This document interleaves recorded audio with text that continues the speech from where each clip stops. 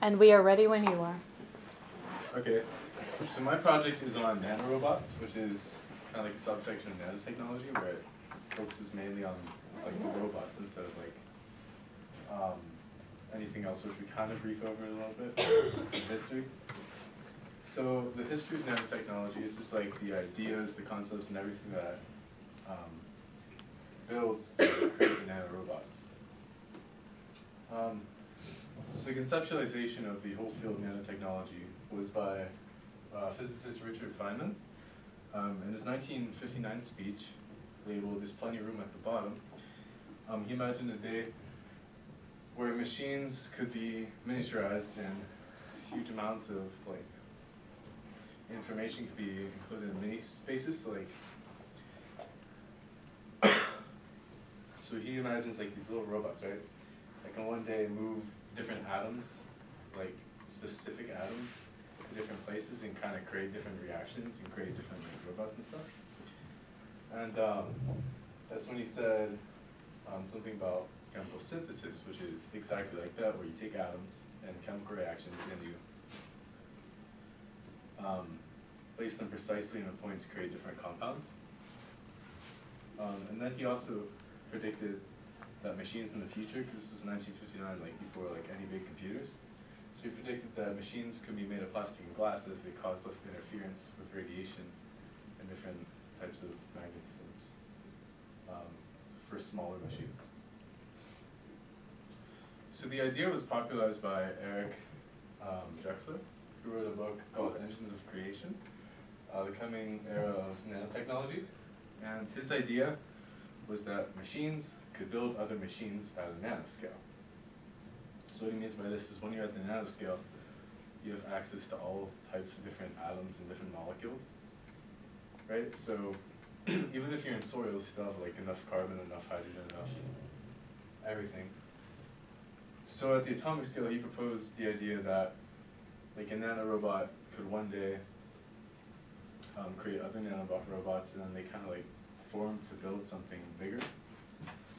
Um, and this was before like any na nanorobot was like ever made. Um, and he painted a picture of the world uh, where the entire Library of Congress could fit on a chip the size of a sugar cube, and where the environmental scrubbers could clear pollutants from the air. It's like little nanotechnologies. Um, I'll go over this a little bit further, but some of them like latch onto these um, things called colloids, and they are so small that gravity doesn't really affect them because the like air molecules or water molecules keep hitting them, and so they're kind of suspended in the air. so the previous advancement in nanotechnology that kind of led into um, nanorobots was the scanning tunneling microscope. And so this was created by Gerd Binnig and Heinrich Rohrer at the IBM Zurich Research Laboratory in um, 1981 in Switzerland. And in 1989, it was given a Nobel Prize because um, it, it was the first machine to ever manipulate like anything on an atomic scale, um, and also able to interact with the atom bonds. And this is kind of like the picture right here. These are like the first photographs of the atoms. And what they did is they kind of like separated them and like had fun with it. okay, so my introduction, this will go over um, many different key concepts. So nanotechnology is like a really new field, but even nanorobots are way newer. And so these advancements in the introduction and specific dates are very important because it's scientists working together um, to like form the idea that nanorobots can be used with great efficiency, efficiency, so they try different methods at different research laboratories to see which one's the best. So before I continue with that, um, important information. Um, so nanotechnology is, the science, the engineering and technology at the nanoscale, which is 1 to 100 uh, the nanometer, and a nanometer is a trillionth the size of a meter. Um, so nanobots can be similar to RNA strands, and RNA provides cellular instructions to the cells and like tells them where to go via proteins, right? And so nanobots hope to kind of aim the same, like, have the same goal, but with humans um, manipulating it instead of the cells. um, and the field is growing at a very fast rate. I think by 2020 it said somewhere around 78 billion dollars was going to be in this industry, and um, currently it's like 30 billion. Um, so there's a lot of growth for it. So visualizing visualizing the uh, nanometers is um, this is an analogy I got from our website. It says the ratio of the Earth is to a child's marble, which I calculated it's kind of it's like one and a half marbles, but you get the idea that like the size of the Earth, and if you were to put in perspective like one marble like this size, would be the size for me looking at a nanometer right now for you. Um, and it's a million times smaller than the length of an ant, and as we know, ants are big. Um, a sheet of paper is about 100,000 nanometers thick. So this would be about 100,000 nanometers nanoscale operates at 1 to 100 nanometers. And the strand of DNA, which it operates kind of at, there's some that do, is about 2.5 nanometers in diameter.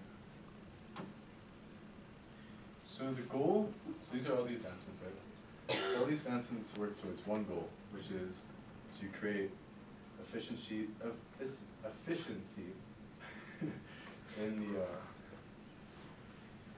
in the field, and try to create which. Right now, the goal is to find out the best motors to drive these things, the best way to move them, and they're trying to find out how to move them to specific points. so the NNI, which was formed in 2001, is the National um, National Nanotechnology Initiative. I read in my notes. Um, and it's a collaboration of 20 federal agen- agencies and cabinet level departments with the promise to improve health and quality of life for all citizens. That's the promise we'll get to a bit later, and the controversy is how that can be skewed. But currently, they have $23 billion invested in nanotechnology and research. And from that, they have things like self-cleaners and sunscreen, very basic things. Um, so all these rest, these will all be covered in more detail, but to give an overview, the magnetically controlled thing was this. Um, it's like a nanoswimmer, which basically has like this. It's like a little tube, and at the end of it, it has magnetic fields, kind of, or the things that create magnetic fields, and they have nickel, which kind of oscillates and propels the nano um, robot. Um, okay, so the mechanical engineers. Um,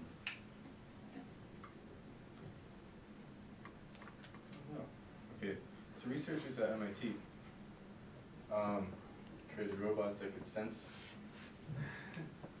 sorry, um, sense their environment. So these things are about the size of a cell, and they have circuits in them which are powered by different, um, they're powered by light basically, and they can store information, they can track the information, and then once they're pulled out, they can be analyzed by scientists. And then these ant nanobots right here, these things are very small, they're like 30 nanometers, and they can, it's a motor for the nanotechnology that can output forces 100 times um, greater than its mass and like the muscle can do. So that's why they call it an ant, because ants produce forces um, 100 times stronger than the body weight. um, so then they have the, the uh, idea that controlling nanobots using pH. So the nanobots will move to acidic or from acidic environments to basic environments, and in the test lab they could control like which one that's from. Like we can control the movement using that. Um, and then the nanobot with rotary motors is it uses DNA in a wheel to directly pinpoint where it can go. Um, so like scientists can predict where it will go based on the type of DNA that it has attached to it. And it's kind of cool to go over it a little bit. So the NNI, established in 2001, it's a collaboration with 20 federal agencies, you know, and it promise, promises to aid in human health, quality of life, enhance the unit's economy, boost job creation, and strengthen our national defense. It has invested $23 billion in research and helps fund the research of nanotechnology, including nanobots. so like this, whole thing nanotechnology, most of its resources goes for nanobots. It's like the hot topic right now. so the nanoswimmer, um, it was produced by ETH, Zurich, and Technion researchers created in 2016. Its dimensions are about 15,000 nanometers long and 200 nanometers thick. So it's like that, it's like a tube. And using magnets and nickel wire to undulate and control by an oscillating magnetic field.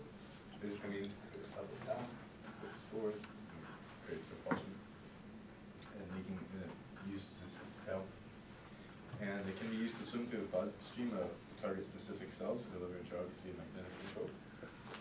So the applications of this is if you were to attach, say, drugs for specific cells that could help like, cure a headache, you can send this to like the brain. Let's propose you can send it to the brain, or like you could deliver drugs that will block cancer, um, stuff like that. All those have common things like that. The ant nanobot I found to be the most interesting. Um, so it's capable of delivering a force per unit of nearly 100 times higher than any motor or muscle. It is the world's tiniest engine. Um, so it's made of gold nanoparticles. So these things, and they're individually cased with this gelipolymer, polymer. And so what happens is that 32 degrees Celsius, which is the heat, which is about 9 degrees Fahrenheit, um, these get heated and they turn into this at like really fast rates. So like it creates like an explosion and like a spring. Um, closest thing I can think of is magnets when they go like really fast, except it's like faster than that because it's on the nanoscale. There's a lot less going on. Um, so these things attach to things called colloids, which I mentioned earlier. So these colloids allow this thing to move where other materials can't, because colloids suspend themselves um, like between liquid atoms. So like all this is on the molecular level and atomic level. Um, so the nanobot focuses more on functionality um, rather than most things. Like it has really good mobility compared to the rest, but the function of this is to go from point A to point B using heat. So what researchers can do is they can like take lasers and they can specifically pinpoint where they want these particles to like show up at. And like maybe they have like some sort of drug on the polymer, or whatever. Um, also this uses Van de Waals energy, which is the attraction or repulsion between atoms or molecules, converts it into elastic energy to create like a spring, like I said. And these are very biocompatible which means you can put them in like humans and pigs and mice. Um, as they operate at the 32 degrees Celsius, which is uh, a lot of bio emissions. Um, so the advantages were that they're cost effective and they're responsive and energy efficient because they are so small that they require like barely any energy. And what they get is they get light. Use light as energy and heat from the lasers and they can be used in micro-robotics, sensing, storage devices, smart windows, and walls, um, and biomedical uses, um, since it's at 32 degrees. So this is the MIT thing. So this is created at MIT by a group of researchers, like unknown researchers, or Chandler, he's like the lead guy, but like it's a lot of people, it's like a collaboration of hundreds of people. Um, so these about the size of a cell, and each one of these is a different circuit that can transmit data, it can receive data, and it can like not be interrupted by a lot of things because it's so small. Um, so the u- so how it works is it uses graphene, um, and then they attach them as they attach to colors as well. And these and the uh, once they attach to the collars, they can kind of continue down the extreme. So the applications would be like if you were using this for fuel, you could put in a pipeline, you could drop it in, and like it can go throughout the entire pipeline, and then it can come back with like what is causing problems. Like it can give information on what types of atoms are there, um, what there's more of, etc. And um, can also be used in water sources to detect potential contaminants. It's like it's not like pure water, like good enough. It'll like researchers can analyze the data found on this and then uh, use it water. So then there's these pH controlled nanobots, which are pretty cool. Um,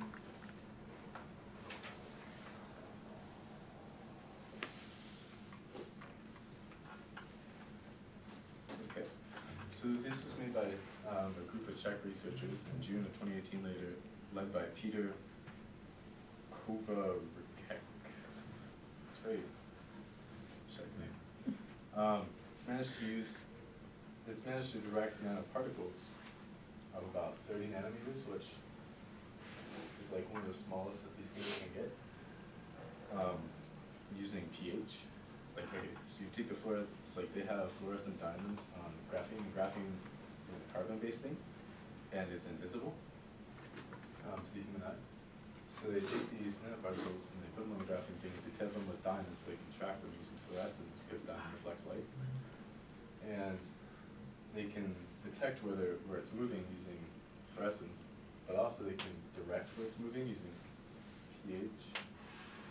Um, so like if it's more acidic, it'll go away from that. If it's more basic, it'll, it'll, uh, you know, track towards it.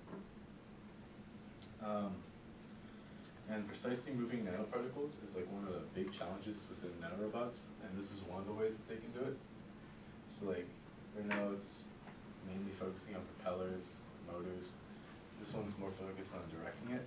There's another one right after this that'll spin which is this. So this was made um, at the Institute, at the Research Institute Caesar in Bonn, the University of Bonn.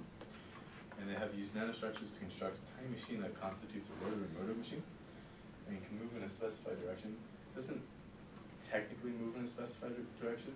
So what it does is, it's a one-wheeled vehicle attached to kind of like a DNA thing.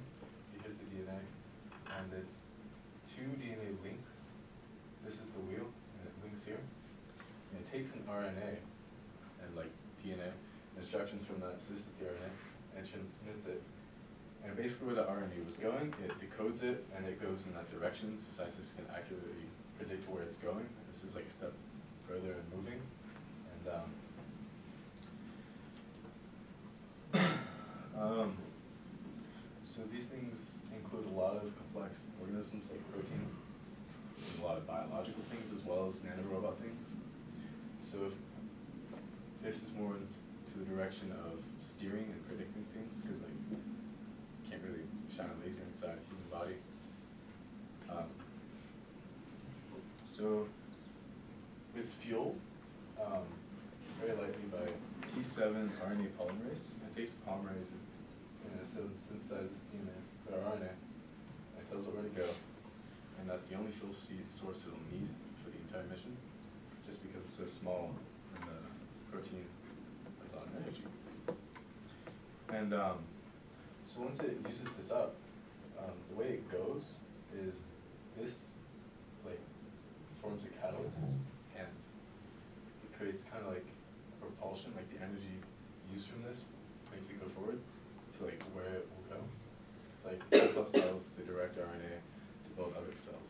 So it's kind of the same thing, but like humans can control which protein. So there's test runs. So the first test run was 240 nanometers long. Um, which isn't a lot, but they can extend that or increase that by however long they want. Um, and it's the next step for more complex challenges. Um, this next step is more complex challenges, kind of like,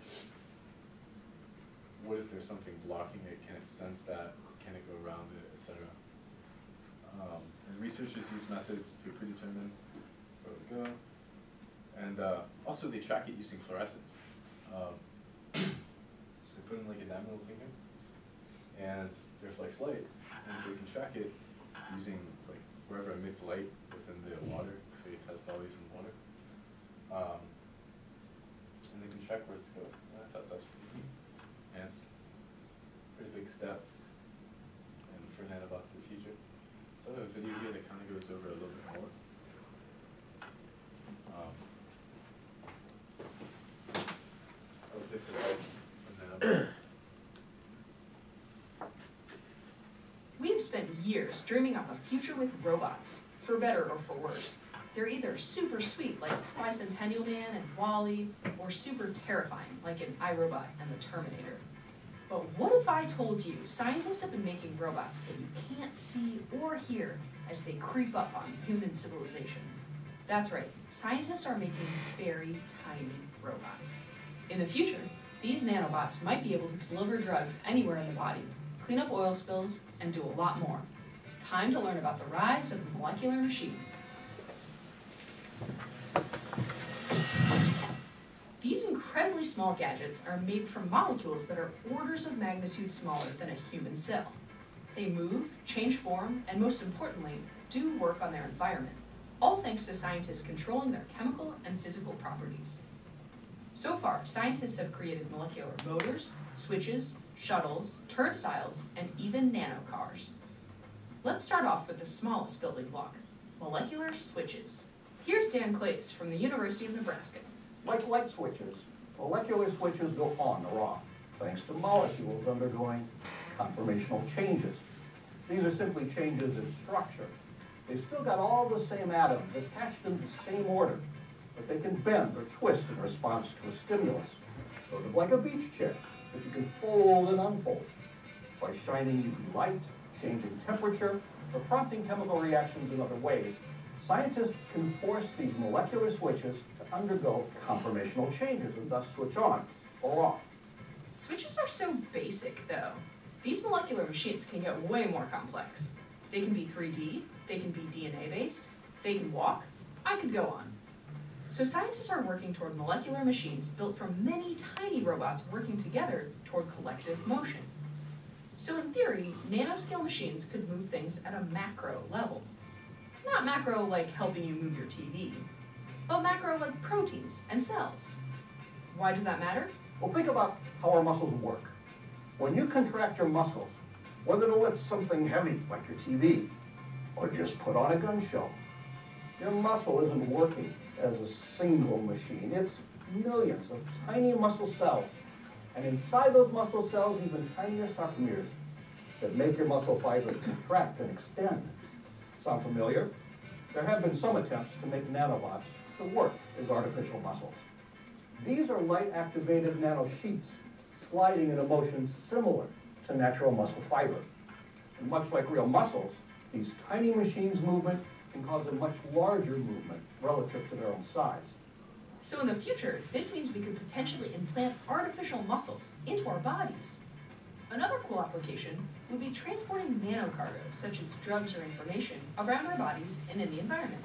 These single molecule sized nanocars and nanotrucks have spherical wheels, rotating axles, and a molecular chassis. They can be powered by shining light or using other chemistry tricks. On a slightly larger scale, micro rockets and micro submarines could also move around and deliver slightly larger cargo. For example, micro submarines could be unleashed in order to capture and remove oil in the event of massive oil spills. Both of these micro machines work by reacting with surrounding solutions to form gas bubbles that propel the micro vehicles around. And they pick up and drop off cargo also using chemistry. They can pick up oil and water through hydrophobic interactions, or could pick up magnetized cargo by adjusting surrounding magnetic fields. All of this sounds great, but there are still plenty of examples of other technologies that beat out molecular machines on efficiency, speed, and capabilities. These miniature workhorses use much less energy. com- That is the, uh, the nanoswim I was talking about earlier. So, I'll skip that. compared with bigger machines. But scientists still have to figure out how to take advantage of that before nanobots can work for us.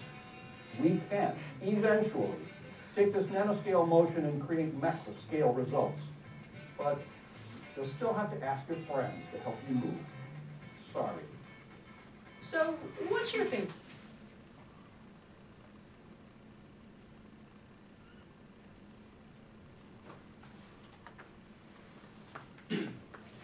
So the big thing in that video to take away from is the idea of like collective nanobots and how they can work together to improve things. And so right now we're working on singular nanobots to try to get them to move. As the video showed, you can make like little cars and stuff, but those aren't the most efficient sources. Um, the those I talked about, the types of motors that were most efficient at what they did, most fuel efficient, cost efficient, whatever.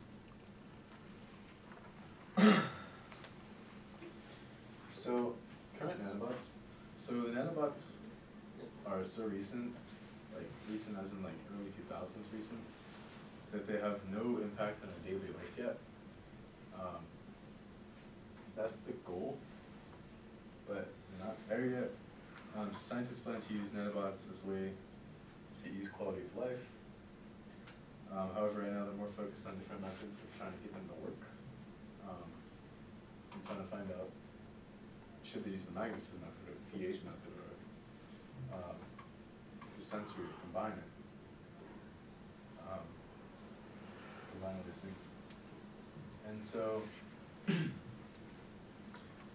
uh, the nanobots um, successfully killed off uh, tumor in a mice model. So that's one of the things that developed last year in 2018 is a bunch of scientists got injected nanobots um, into it with um,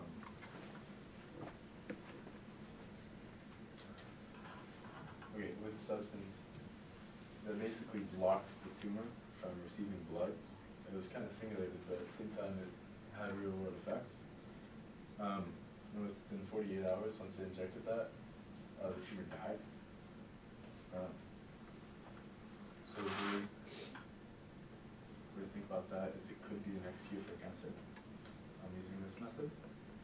And there's still concerns, um, as this was all done on mice, or a mice model more specifically. And it hasn't been performed on a, like, larger, um, animal, um, or on a live mouse yet. So it's very, very difficult. Um, so the future application of nanobots to be treating cancer, or just whenever, and they can deliver drugs to, the, the hope is to deliver drugs precisely to the tumor cell and try not to affect any other cell, because the current methods that we have are like chemotherapy and like different types of medicines, or just kind of continually treat the cancer until finally pass away from it. Um, so being able to deliver drugs to specific parts of the body could also help in disease prevention and control. As like, say you take a medicine for a specific disease or disorder, and it has side effects. Well, the side effects are due to like it reaching all parts of the body instead of a specific area, like a specific specific area. And it's just your body's reaction. So the hope is with targeted drug delivery that we can like, say you have like a headache, right? It can go up into your brain and kind of calm it down without affecting anything else. So one of the interesting things is they have storage devices already created. So this guy, he was a biomedical engineer at Harvard's Wyss Institute, and he created a a storage device that was the size of a DNA gram, and it could hold up to 5.5 petabytes, which is about 700 terabytes, which is about 7,000 gigabytes. or not seven, seventy thousand. Um, so the efficiency, um, due to them being so small, and like this, they have like a Eiffel Tower thing. Um, they can precisely move atoms in ways that we couldn't previously do it. So like, if we're in a wire, like some of that loses energy because it's not like, it's sealed, like sealed as best we can right now. But it's not sealed on a molecular level. It's like a lot of energy uh, escapes in the form of heat. And so the hope is that these nanobots can kind of plug those holes, plug those gaps, create more efficient devices that way. And so what they're working on now at CalU is metamaterials, which are these things. So they're um, aligned like this, and they're the lightest substance and the strongest substance as well. So it's kind of like Kevlar in a sense. Um, so the other future applications would be smart windows and walls. So smart walls, because nanotechnology is so small, you could like attach different light sources to them. And when we see colors, we see the light that's bouncing off of things. So the hope is to change the way that these nano um, robots can move, and like the walls, you can turn them different colors. And the thing for windows is uh, they want to have um, cleaning, like self-cleaning things, so like rain will kind of just trickle off or whatever, water, liquid. And, uh, or the nanobots will get rid of it collective. It can also, be also, the hope also is to, um, kind of create, like, controlled environments with these walls. So like, controlling different temperatures and different humidities. Um, also another thing is the health sensors is a big thing. So what this would do is like, in the future they propose an idea where you can inject yourself these nanobots, and it would tell you like what you're missing, what you need, and uh, what you have too much of, and like you can kind of, kind of like Fitbit that we have now, just set a nano level, and be more accurate, since it's in. Um, and then they have these replicators, which they want, and they're a device that could be able to guide chemical reactions. Um, so this is the thing I was talking about with chemical reactions, like explosions, that's a chemical reaction.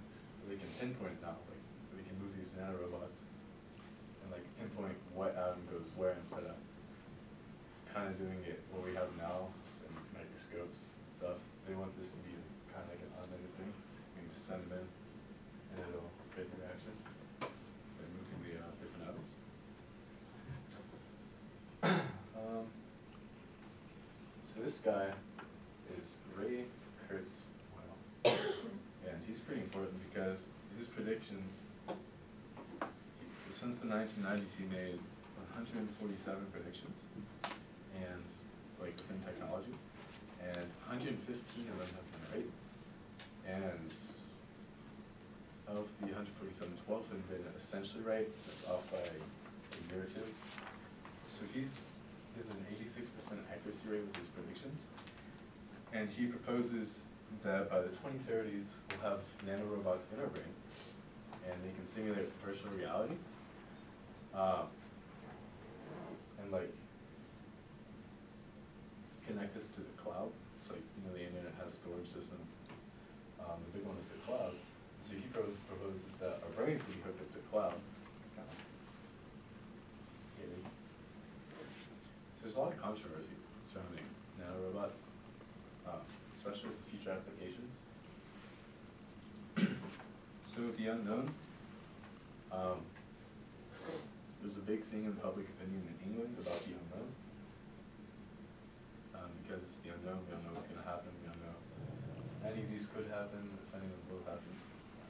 Um, because it's so new, it's recent. So the regulation, there's a. Um, there's hardly any regulations. So the FDA, um, had a report in two thousand seven that says nanobots, nanotechnology needs to be a timely development of transparent, consistent, and predictable regulatory pathways. And no one kind of really followed that. So the CDER, or Center for Drug Evaluation and Research, and the CBER, which is the Center for Biologics Evaluation and Research, uh, released a draft guidance directed for drug and biological products that contain nanomaterials. Now, none of this said anything for nanorobots. And so there's like a whole legal thing, like, are they saying nanorobots? Because they only said nanomaterials, because they don't have anything.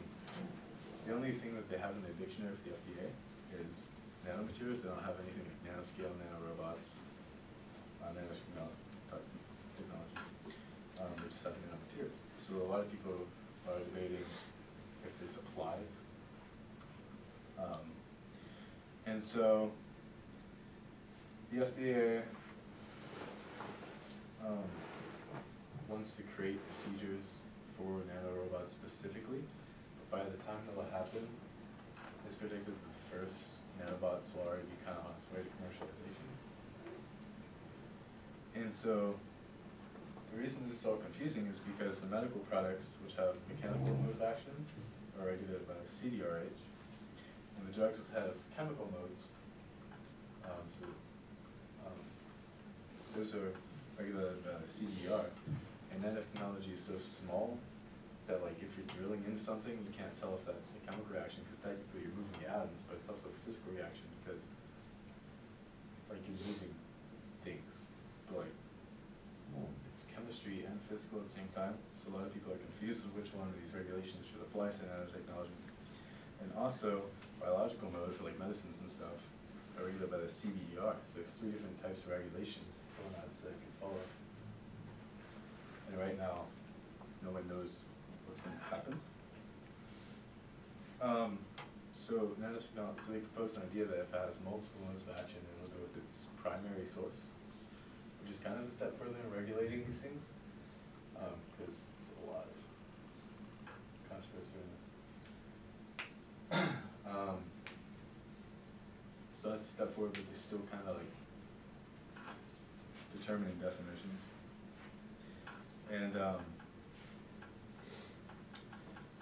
so the FDA's procedures are in the works to handle the nanorobots. But as I said, the first um, wave nanobots applications will be in use by the time they have this out, because they have to go through multiple different uh, systems in order to get these um, regulations. so one of the big concerns is government control and abuse, kind of like uh, Brave New World in 1984. Um, where it can make a utopia, it can make a dystopia depending on how it's used. Um, so they, it's up to the government, because the government's kind of like researching it, they're making it, they're in the development, so they're kind of in control of everything. And it's top secret kind of, so we wouldn't know if it's being abused if it was. That's a huge thing for people. And um, and the issue with this is if the nanobots in the future can attack tumor cells, can they attack healthy cells as well? And like maybe take heart tissue, um, maybe for political agendas. There's a history of killing people. So the nanobots operate at a scale that are practically invisible, and it doesn't help that they're using graphene in most of these nanobots, because graphene is um, carbon-based, and it makes it pretty much invisible on a microscopic level. It makes it even more invisible I can't see nanobot with my eye. Um, so, again, with the government abuse, if they were abused to abuse it, we wouldn't know like until the effects of damage that have been done. And so another idea is that since it can take chemicals or molecules and atoms and kind of pinpoint where it goes, you can take different proteins and um, kind of activate, deactivate genes. So I guess it could be used for beneficial purposes, like maybe there's like a strength gene that like allows you to build more muscle or heighten your metabolism, but also it can use the inverse effect where it can harm you. Um, control of that is within the government. Um, and if that is possible, then a lot of, like, we are affected by time and the sense of aging. However, there's genes in our body that are kind of like the lobsters, um, where we can age indefinitely. It's just these genes are not active. So if for you to activate these genes. Um, it provides immunity from natural death cycles, aging, and the nanobots can also prevent diseases and cancers, which is the hope. But is that kind of like Frankenstein or playing God? Is that, uh, does make a lot of overpopulation, um, which already have a problem now, but like, there's not gonna be dying every second, in the natural things, so they'll have to die to like war. Um, Another thing is it's too efficient.